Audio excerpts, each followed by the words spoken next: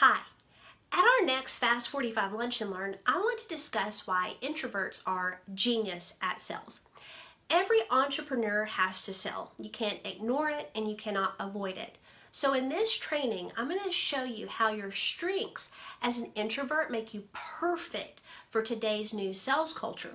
Remember the days of the crazy uh, car salesman? Hey, you know me, CJ Morgan from the Captain's Auto Sales. Way too much inventory and now I'm passing the savings on to you!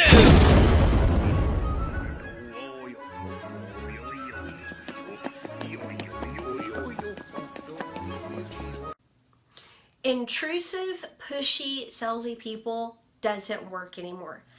Unfortunately, the mere fact that you're an introvert can make sales really difficult for you.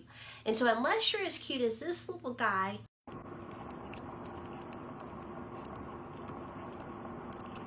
your introvertness might be hurting your business.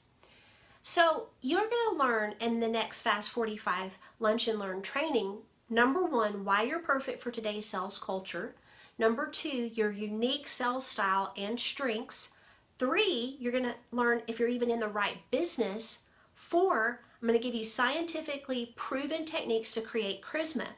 Now, I'm an introvert myself, and I use everything that I'm going to show you in this training. In fact, I've had one man, an insurance salesman no less, call me a liar when I told him I was an introvert. That's how well these things work.